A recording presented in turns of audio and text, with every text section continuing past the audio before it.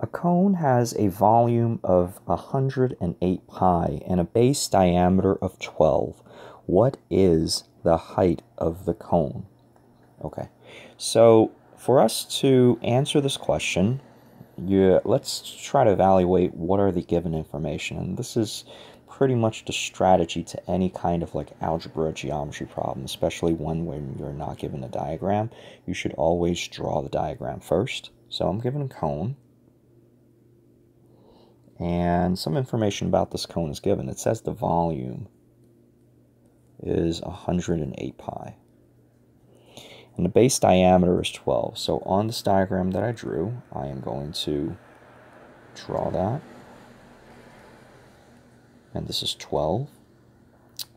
And uh, since the volume is 108, I know that to find the volume, uh, the, uh, the volume of a cone is given by this formula, 1 third pi r squared h.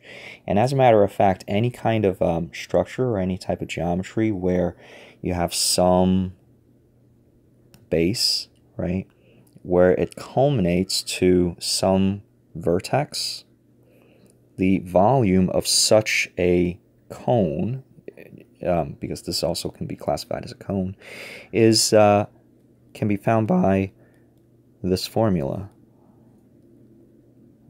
And capital A here is the area of this base. This is A. And the height is the distance between the point to the base. All right. So you're going to see other problems in the future. Mm, I'm not saying in this particular geometry Regents, but uh, in other geometry Regents where they will ask you to apply this concept here. Anyway, so volume is equal to 108 pi is equal to 1 third pi r squared h. Um, and the task is to find out what the height of the cone is.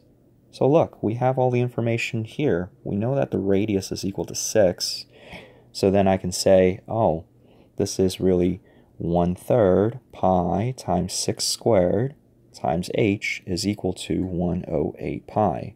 And conveniently, there's only one unknown. So I can eliminate, right, um, things and try to isolate. So I see that I have pi's on both sides. I can cross those out. Uh, I know that 6 squared is 36, so I have 1 third times 36 times h is equal to 108. And since uh, 3 goes into 36 12 times, and I know that 12 goes into 108 9 times.